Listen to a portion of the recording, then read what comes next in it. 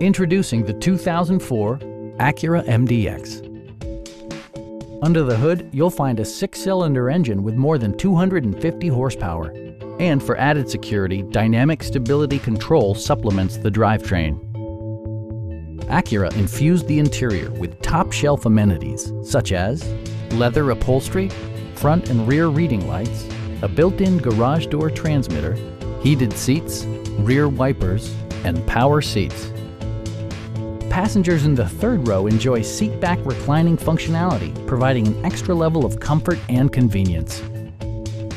Audio features include a CD player with AM-FM radio, a cassette player, steering wheel mounted audio controls, and nine speakers, providing excellent sound throughout the cabin.